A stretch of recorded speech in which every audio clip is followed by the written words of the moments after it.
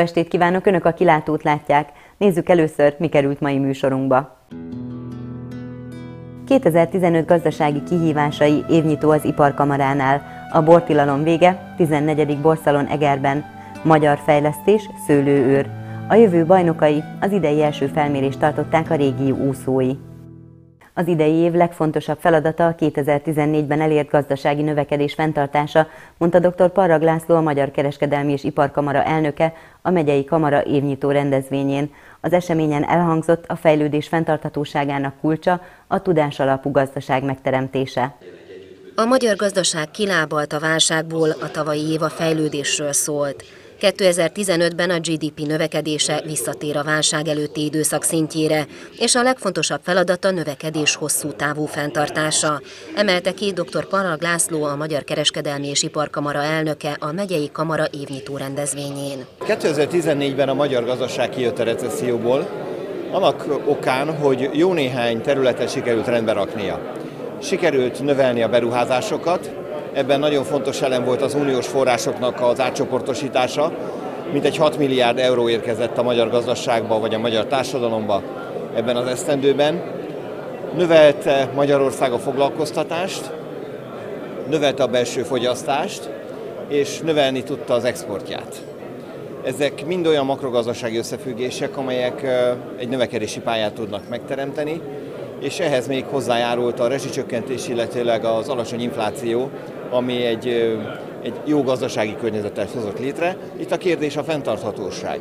Nyilván ezeknek a motoroknak egy része ki fog fulladni. Például a rezsicsökkentést azt valószínűleg tovább már nem lehet vinni, vagy ilyen nagyságrendben nem lehet tovább vinni. Minden bizonyal az infláció meg fog emelkedni.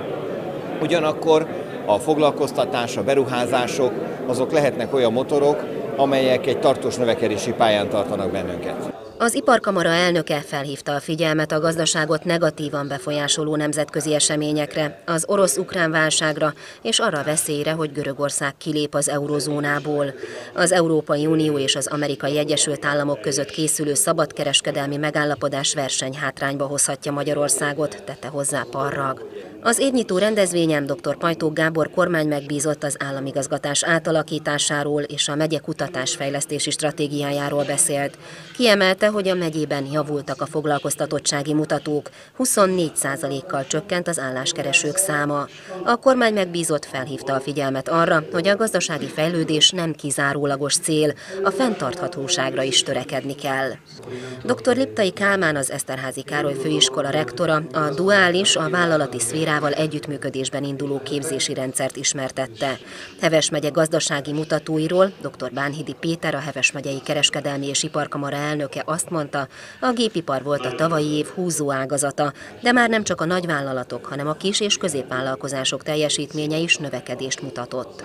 Heves megye vonatkozásában el kell mondani, hogy nagyon örülünk annak, hogy a megye gazdasága kezd kilábolni a, kilábalni a válságos periódusból, tehát a elmúlt évben érezhető volt az, hogy a gazdaságnak a teljesítménye növekedett.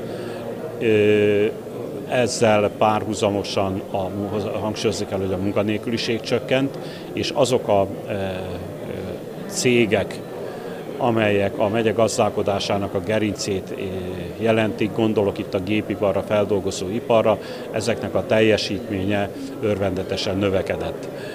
Úgy gondoljuk, hogy ez a folyamat tovább folytatódik, és reméljük is, hogy ez a folyamat tovább folytatódik, úgyhogy a megye gazdasága stabilizálódik és tovább fejlődik. Örvendetes, hogy a KKV vonatkozásában is több olyan cég van, amelynek a teljesítménye növekedett, és ehhez kapcsolódóan kell elmondani azt, hogy nagyon fontos az, hogy a sikerüljön növelni a hazai és a megyei beszállítóknak a helyzetét, amelyek a nagy feldolgozóiparba és gépiparba működő cégekhez beszállítanak. Ezzel kapcsolatban is több olyan fórumot rendeztünk az elmúlt éve 2014-ben, amely a beszállítóknak, a beszállítók lehetséges beszállítók részére föltártuk a lehetőségeket, és ezt a célt szolgálja, szolgálják azok a kiadványaink is, amelyekben bemutatjuk ezeket a lehetőségeket. A Heves megyei Kereskedelmi és Iparkamara évnyitó rendezvényén elismeréseket is átadtak. Például Heves megye gazdaságáért díjat kapott a CETEF Lang System Hungária Kft. és az Egri Ipari Park Kft. Az ünnepségen újabb cégek képviselői vehettek át tisztességes kereskedői és szolgáltatási magatartásukat elismerő korrekt partnervédjegyet. A bortilalom vége. Ismét a 20-as éveket idézte az Egri Borszalon. Felöltözni korhű jelmezbe nem volt kötelező, de ahogy a szervezők fogalmaztak, erősen ajánlott. A prémium kategóriás borokat így csokornyakkendős kalapos férfiak és tollas fejpántos nők kóstolgatták. Az idei borszalomba 30 borászat hozta el a legjobb 3-3 borát. 14. éve rendezik már meg évvégén az Egri Borszalont, az ország legnagyobb beltéri boros rendezvényeinek egyikét mindig karácsony után tartják. Úgy gondolták a szervezők, hogy szórakozzanak együtt a borkedvelőkkel, legyen a hangulat vidám és évvégi. Öt éve idézték meg először a 20-as éveket, idén ismét ezt a korszakot választották. A szervezők azt ajánlották a vendégeknek, öltözzenek jelmezbe. A rendezvényekkel is az Egri bor imázsát kívánják erősíteni. 14. borszalont rendezzük meg, és öt évvel ezelőtt, amikor megkaptam a főszervezői lehetőséget, akkor azt gondoltam, hogy valami totálisan új alapokra kell helyezni ezt a rendezvényt. Évvége van, kikapcsolódás, szórakozás, közeledik a szilveszter, szórakozzunk együtt azokkal a vendégekkel, akik szeretik a bort, és akkor azt találtuk ki, hogy a 20-as évek hangulatát fogjuk megidézni, Al Capone, Babarcu és a egyéb gangstereknek a, a, az időszakán, és olyan jól sikerült öt évvel ezelőtt, hogy azt mondtuk, hogy hozzuk vissza, valósítsuk meg újra ugyanezt a korszakot, úgyhogy már most látom, hogy bejöttem, hogy mindenki jelmezbe van öltözve, mindenki felvette ezt a hangulatot, könnyen lehet ezt a hangulatot imitálni, soha nem volt még ennyi borász, 30 borászat vesz idén részt ezen a rendezvényen, mindenki három borral jött, három legjobb borával. Ez az záró rendezvénye a, a, az évnek, kikapcsolódásról szól az, hogy találkozunk egy kicsit a, a vevőinkkel, megismertessük esetleg az új borainkat, az új tételeket, esetleg az éppen kierjedt borokat, és közben egy, egy jót mulassunk együtt.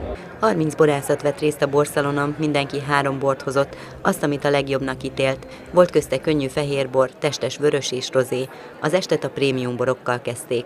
Azt gondolom, hogy, hogy az egri közönség, illetve az üdülő vendégek is, akik ilyenkor el szoktak jönni este, a, az igényes borfogyasztók közönsége, és ezért az idén azt is beszéltük meg a társakkal, a kollégákkal, akikkel együtt vagyunk itt ma este, hogy az este első részében, tehát addig, amíg a, a úgymond az igényes borfogyasztók igényeit szeretnénk kielégíteni, a legjobb borainkkal jövünk, lehetőleg superior borokkal, illetve hát mindenki a legjobb borából hozza a, azt a hármat, négyet, amit ő úgy gondol, hogy meg szeretne mutatni, illetve az est hátralévő részében már nem a legdrágább borainkat, de még mindig azért jó borokat fogunk a koncertek alatt is kóstoltatni a közönséggel. Tehát ilyen értelemben ketté lesz az este választva a borok szempontjából. Értem, hogy miért jönnek el ide a, a borkedvelő emberek, ugye azért, hogy végigkóstolgassák, hogy milyen bor termetegerben. Borászok miért jönnek el? Hát, hogy megmutassák, hogy mit is készítettek az elmúlt években, és persze amellett megkóstoljuk a kollégáknak azokat a boraikat, amelyikre ők büszkék. Ilyenkor van visszajelzés a kollégáktól is? Mindenképp, tehát már itt, aki korábban érkezett, már egy-két borász idejött hozzám, és akkor már úgy megkérdeztem a véleményüket, hogy mondják el most így négy szem között őszintén. Hát szerencsére még eddig csak pozitív vélemények jöttek, de, de nagyon fontos a kommunikáció. Mi a fontosabb a fogyasztóktól a visszajelzés, vagy mondjuk egy valamiféle versenyen, vagy így a kollégáktól? Hát legfontosabb a fogyasztók visszajelzése. Nagyon profi kóstolók jönnek el ide a borszalonra, tényleg csak hallgatom a véleményüket, mert valójában ők isszák meg. Persze nagyon fontos a borász kollégák is, és hát azért elküldjük a nagyobb borversenyekre is a borokat, ez meg így inkább a nemzetközi piacról ad visszajelzést. Gondolom, hogy figyelemmel kísérik mindig a borvidékkel kapcsolatos híreket. Volt a közelmúltban egy olyan felmérés, hogy a, a magyarországi borvidékek ismertségét mérték föl, és az egri borvidéket elég sokan ismerték, sőt nagyon sokan ismerték. Minek köszönhető ez az ismertség? Hát leginkább a annak, hogy a legnagyobb marketing, legnagyobb reklám, maga a, bor, a boros palaszk, és az egri borvidéknek a súlya igen nagy a magyar borágazatban. Ha a, azt nézzük, hogy ebből a 64 ezer hektárból 5300 hektár, több mint 8 százalék az egri borvidék, ez egy jelentős dolog, másrészt pedig EGRI néven több mint 100 ezer hektoliter bort hoznak forgalomba évente. Nyilvánvalóan ebből van export is, de ezen kívül szexárd, villány, de toka inkább még volumenben, és az ismertséget szerintem ez hozza leginkább. Aztán meg vannak akciók, marketing akciók, Bikavér párbaj, Egri Csillag Fesztivál, Egri Csillagbontás, Egri Bikavér ünnep. Ezek, a borszalon. Hát, és, és a borszalon, az Egri borszalon, ezt a végére hagytam, hogy minden év végén van. Ami valahol milyen formában hír, és hát szerencsére vannak újságírók, meg tévések, akik meg szoktak kérdezni egri borászokat, meg nem csak egri borászokat, hanem fogyasztókat, és mindig elhangzik Eger neve hetente egyszer-kétszer, és hogyha Eger neve elhangzik bármilyen témába, az már a bor kapcsolódik szerintem. Lehet lokálpatriótának lenni a borfogyasztásban? Hát szerintem, mint minden másban ebben is lehet. Főleg, ha Egerben vagyunk, és az egri borokról beszélünk, akkor nem, hogy lehet lenni, hanem úgy gondolom, hogy egy elvárás, és ráadásul az egri borok nagyon finomak, tehát nem is olyan nehéz lokálpatriótának lenni milyen alapon szokott bort választani? Milyen borokat? Hát én, én olyan vagyok a bor esetében, mint gombóc Artúr a, a csokival, tehát szeretem a fehéret, a rozét, a vöröset, a szárazat.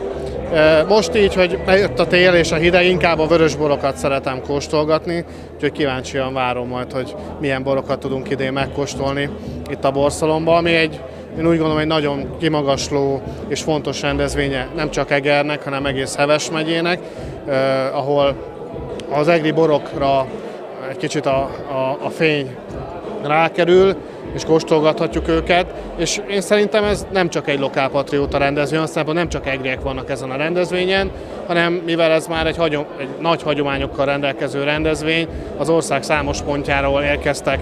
Én is tudom, mert nekem is vannak vendégeim a fővárosból is, úgyhogy én úgy gondolom, hogy már nem csak egriek vannak. A borszalon arra is alkalmat ad, hogy az egri borvidék, a szőlőtermelők, a borászok helyzetét értékeljék, mondja Eger polgármestere Habis László. Úgy látja, 2014-ben sikeresen szerepeltek az egri borászok Bordóban és más borversenyeken. Az önkormányzat idén számos borgasztronómiai rendezvényt támogatott, nem csak a helyieket, hanem Eger bemutatkozását például Debrecenben vagy Lublinban. A polgármester szerint a borszalon a társalgásról és az elmélkedésről szól. Egy nagyon szép kötetet jelentettünk meg az Egri borról több nyelven, és elkészült a Borvidék honlapja is az önkormányzat tüsténkedésével, támogatásával, tehát értünk el eredményeket.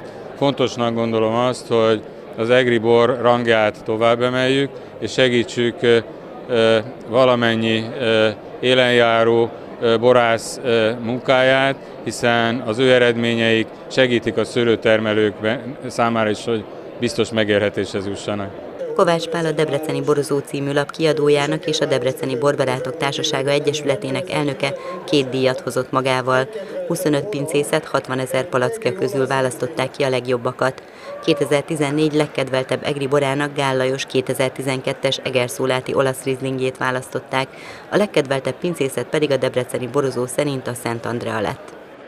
Magyar fejlesztésű szőlővédelmi jelzőrendszert mutattak be Egerben a napokban. A szőlőr elnevezésű alkalmazás valós idejű információkkal, például mikroklíma elemzéssel, időjárás előrejelzéssel, vegyszeradatbázissal és növényvédelmi naplóval segíti a gazdákat, hogy időben kivéthessék a szőlőbetegségeket. A fejlesztésben egri szakember is részt vett. Szakemberek szerint a szőlészeknek, borászoknak a legnagyobb gondot a szőlőtermés sújtó betegségek elleni hatékony védekezés jelenti. A peronoszpora, lisztharmat, szürke és fekete rothadás elleni küzdelem a gazdák szerint is költséges és környezetszennyező, eredményessége pedig gyakran kétséges. A napokban Egerben egy olyan magyar fejlesztésű, több innovációs díjat nyert szőlővédelmi jelzőrendszert mutattak be, amely a fejlesztők szerint részletes, valós idejű méréseivel megoldást jelentett a problémákra jó borhoz jó minőségű szőlő kell, és a szőlő nagyon érzékeny a növénybetegségre, ezért rengeteget kell permetezni. A fő probléma az az, hogy a szőlőterületek dimbes dombosak, és nagyon nehéz eldönteni, hogy mikor, melyik területen mit kell pontosan csinálni. Elsődlegesen mi a szőlészekért és a borászokért vagyunk, tehát őnekik drukkolunk, és a rendszer az ő gyakorlatilag a növényvédelmüket teszi hatékonyabbá. Emellett vannak ilyen növényvédelmi szolgáltató cégek is, tehát őértük is vagyunk. Itt a lényeg az, hogy ne kelljen feltétlenül olyan gyakran elmenni ezeket a szőlőterületeket megnézni, tehát ez egyfajta távmonitorozás, ugye mi másodpercenként és bizonyos dolgokat percenként mérünk.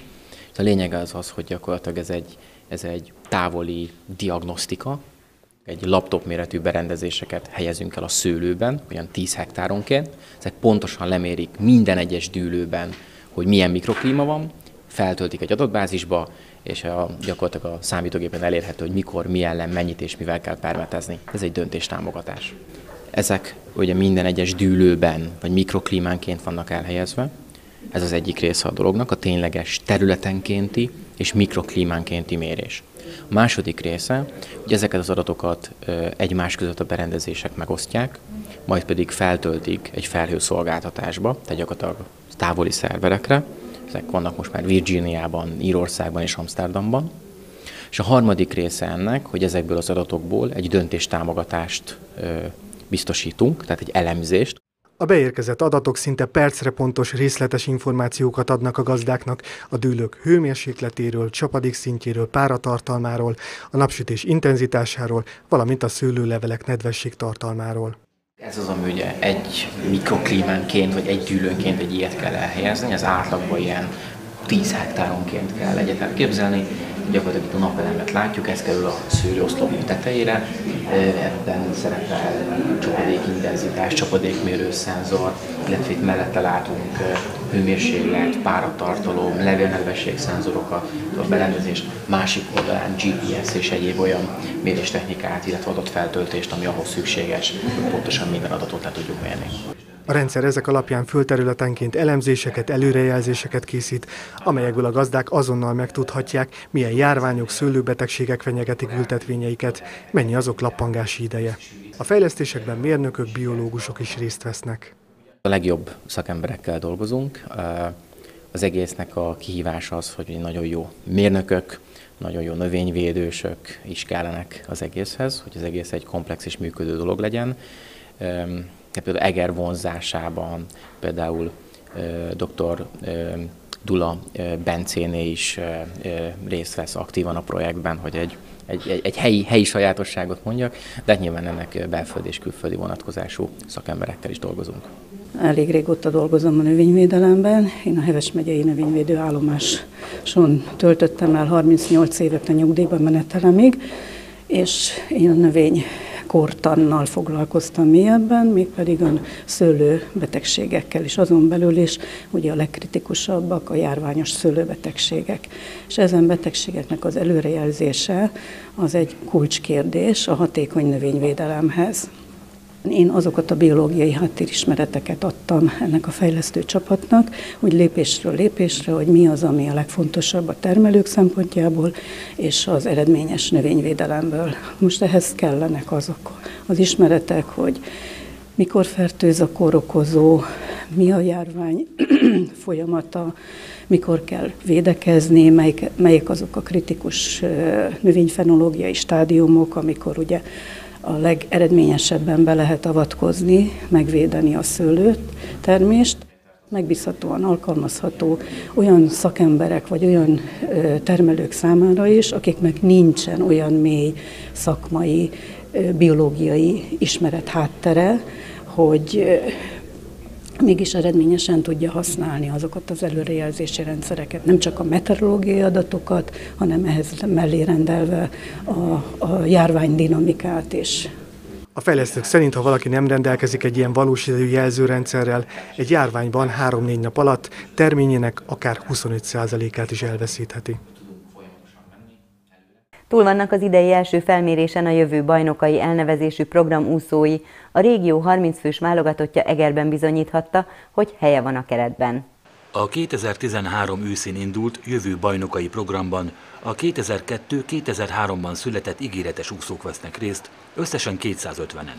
Azért ez a korosztály kap kiemelt figyelmet, mert ők lehetnek azok, akik jó eséllyel indulhatnak a 2021-es Magyarországi világbajnokságon.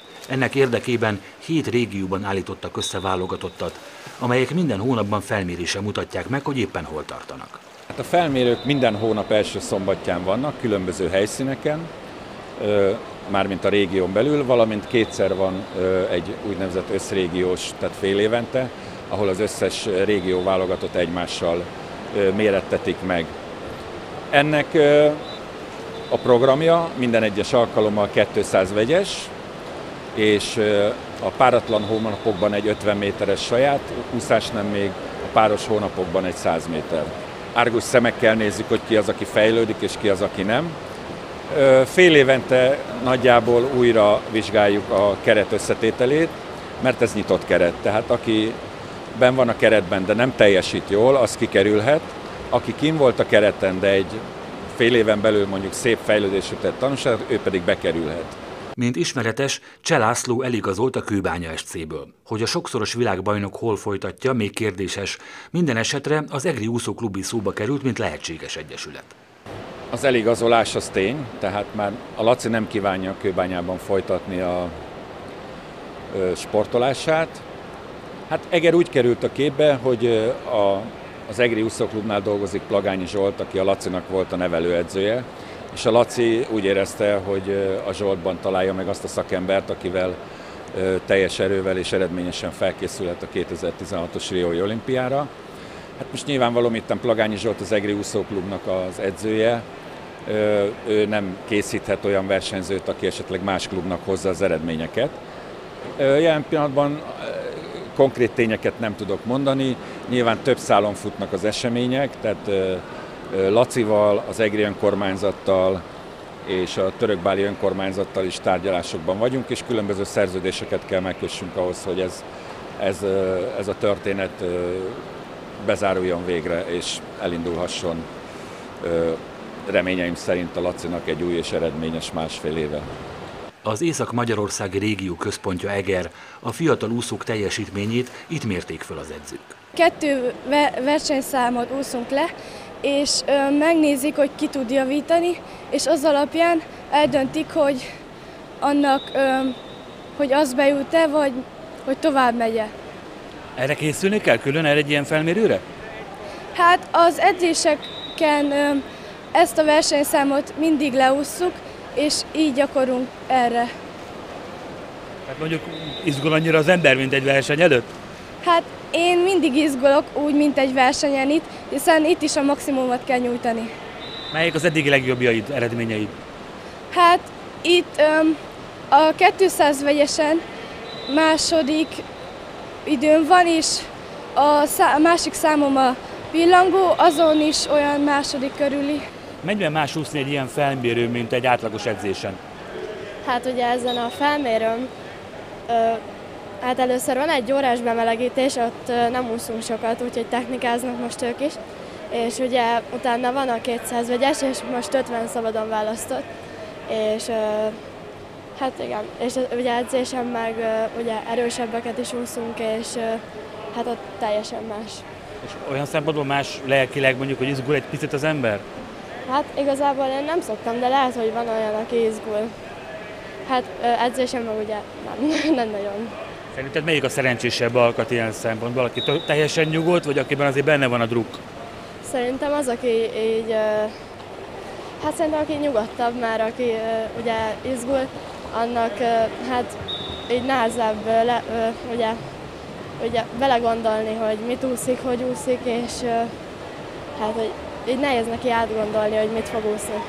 Magadtól most mit vársz, milyen teljesítményt? Hát igazából most volt két hét pihenő, és most kezdtünk el újra úszni, és hát ugye most van az alapozás, akkor úszunk a legtöbbet. Úgyhogy most ezen a héten nagyon sokat úsztunk, ezért hát nem, nem várok magamtól jobbat, mint a nyári ob de hát azért jó lenne jót úszni. Eger nem csak a régiós felmérőknek ad otthont az idén, nyáron itt rendezik az ifjúsági országos bajnokságot. Hölgyeim és uraim, önök a Kilátót megyei magazin műsorunkat látták. Legközelebb egy hét múlva találkozunk, viszontlátásra!